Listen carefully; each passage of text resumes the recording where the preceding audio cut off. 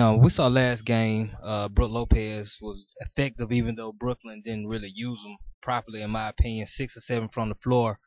You might have your number called tonight. How prepared are you to go in and handle business if that's the case? Very prepared. It's my job. So yeah. What what are your? I know your strengths. You can you know you can go outside, hit the 15 foot jumper. You can go inside, but against a, a guy like Brook Lopez, what would be your your, your strength against him? Uh, my mobility, being able to run the floor and space the floor, like you said.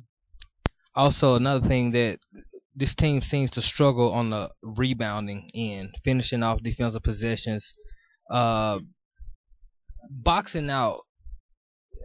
Just talk about the fundamentals of when you when you're playing a big guy like Brook Lopez and some of the bigs they got. Just how important is it to be fundamentally sound?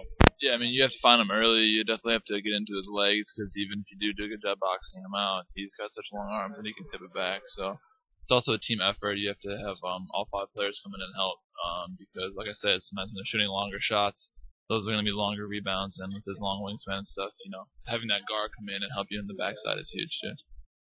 Thank you, Mike. Stay ready.